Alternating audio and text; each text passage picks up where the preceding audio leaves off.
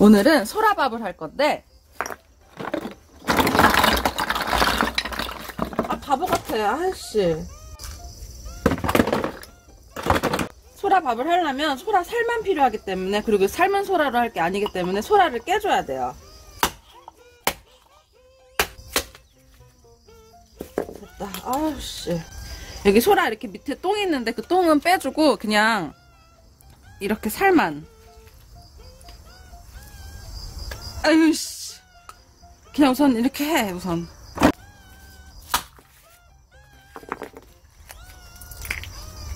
살만 이렇게. 보면은 소라가 이쪽에 있기 때문에 이쪽을 공략하는 게 편하지. 됐다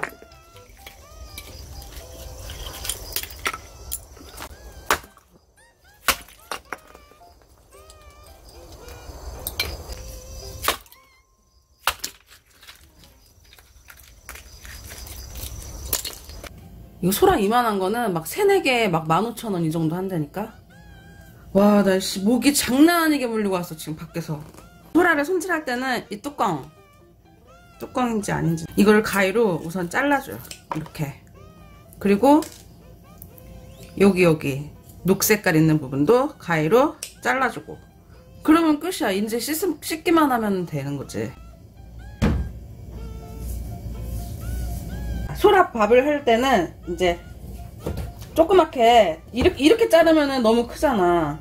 그러니까 한 요 정도? 이렇게? 여기 보면은 가운데 딱 보면은 이렇게 하얗게 침샘이 있어.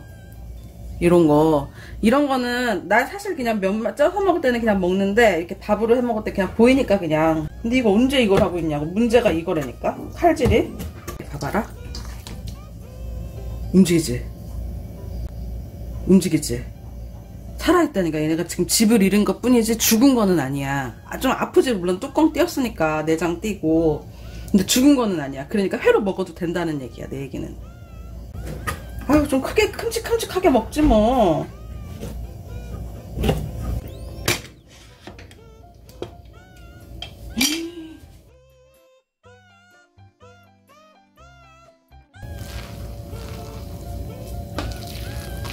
흰쌀밥이었는데 밥도 색깔이 약간 어, 누런기가 있어.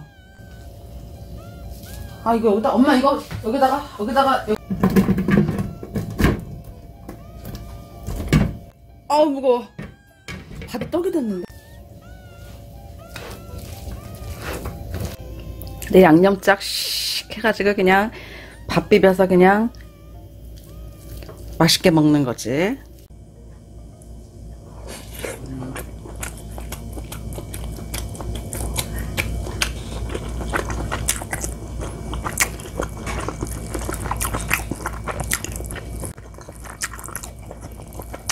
와.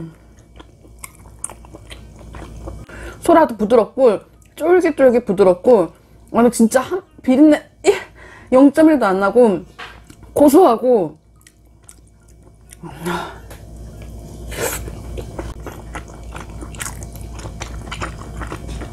그리고 양념장에다 기름을 겁나 퍼부어가지고